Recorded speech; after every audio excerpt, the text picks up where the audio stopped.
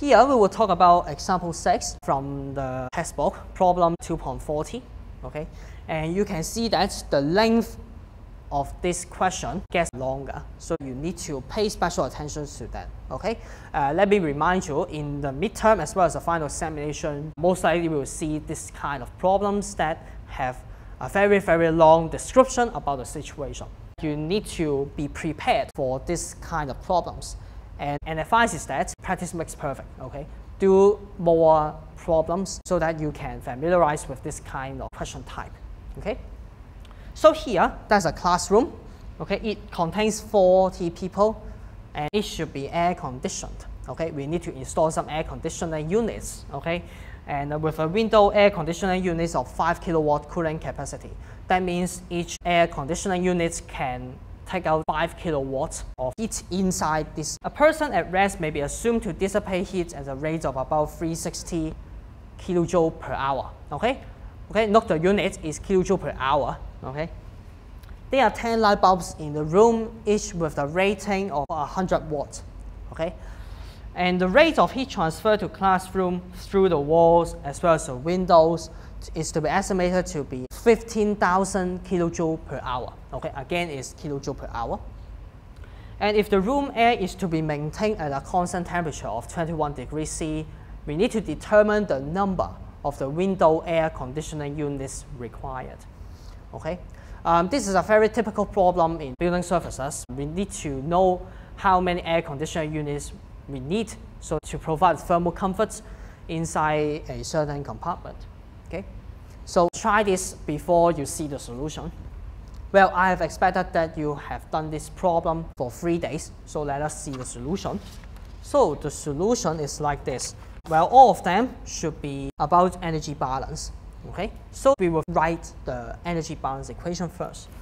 Okay, E in minus E out equal to delta E of the system. Okay, but in this case, the delta E should be equal to zero. Why? Because we need to maintain the temperature inside the classroom to be constant. So this delta E should be zero. And or we say that the energy content inside the classroom should be a constant. Okay. Okay, in this case, we can rearrange so that E equal to E out.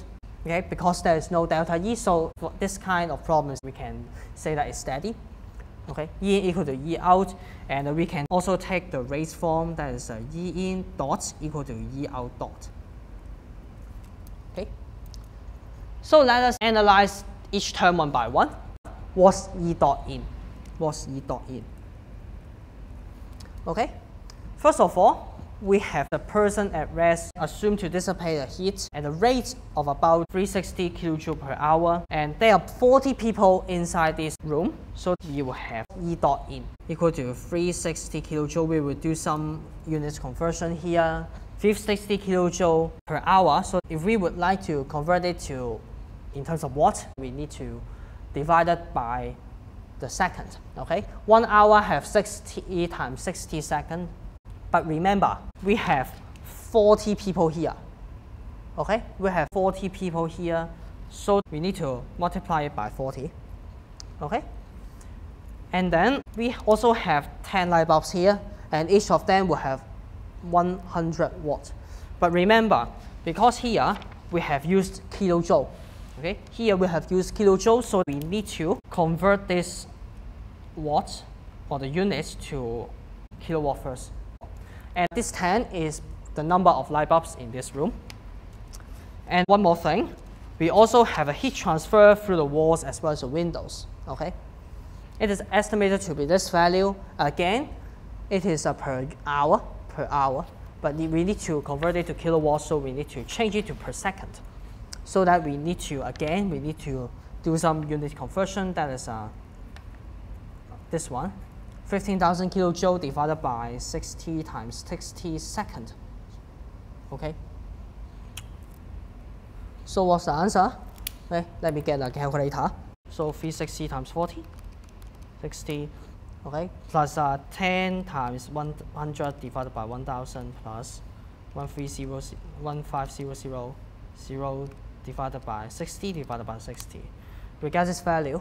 So we will get uh, 9.167 9.167 kilowatt.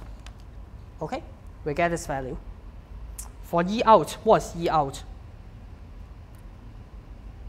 Because we know that each of this air conditioner have a 5 kilowatt cooling capacity. Okay, so that the E out should be N times a 5 kilowatts, where this N is the number of the air conditioning units that we need to install. Okay, so if we put all the values here, so 9.167 equal to uh, n times 5. So that we will get n equal to uh, here, this one 9.167 divided by 5, and we get this 1.83. 1.83. Okay, but uh, as you know that for the air conditioning units, it should be an integer. Okay, so in this case, what's the number of aircon units required? Okay, one or two? One or two? Okay, round up, round off, or round down? Okay, one or two? Okay, it should be two.